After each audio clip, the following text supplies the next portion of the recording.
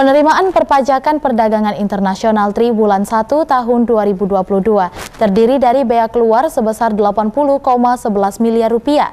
Capaian bea keluar pada bulan Maret 2022 mengalami penurunan sebesar minus 4,07 persen dari tahun sebelumnya, yakni 95,49 miliar rupiah. Hal ini dikarenakan terdapat penurunan atas ekspor cangkang sawit pada bulan Januari sampai Maret 2022 dibandingkan dengan Januari sampai Maret 2021 lalu. Dari data bea keluar kantor wilayah Ditjen Perbendaharaan Provinsi Jambi diketahui penerimaan perpajakan perdagangan internasional triwulan 1 tahun 2022 terdiri dari bea keluar sebesar 80,11 miliar rupiah.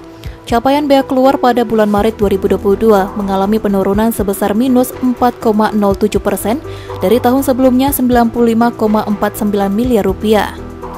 Penurunan tersebut di antaranya disebabkan oleh terdapatnya perubahan peraturan dengan terbitnya PMK nomor 1 garing PMK titik 010 garing 2022 yaitu adanya perubahan tarif atas pengenaan biaya keluar khususnya komoditi cangkang sawit yang turun dibandingkan dengan tahun 2021.